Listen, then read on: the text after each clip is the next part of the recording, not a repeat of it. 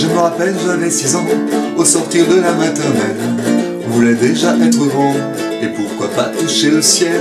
Notre maîtresse, Madame Galliot, nous a un jour demandé, à part côtoyer les oiseaux, ce qu'on voulait faire comme métier. Paul aimerait être chanteur, Laure veut devenir hédoniste, Sylvie architecte d'intérieur, moi je veux être optométriste. Oh, le monde est beau,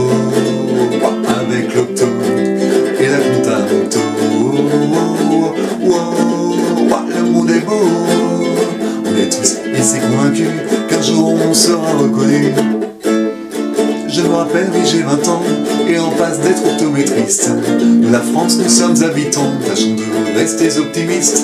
Mais de tout le monde occidental, nous sommes le vilain petit canard.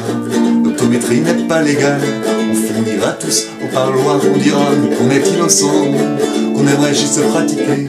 Ils diront qu'on est inconscient, ils ne veulent pas tout chambouler.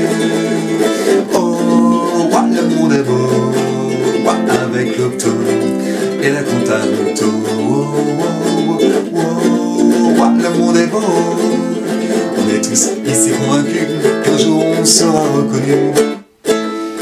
On pourrait enfin se servir de toutes les connaissances acquises, comme faire une réfraction rapide avec la méthode d'Humphries.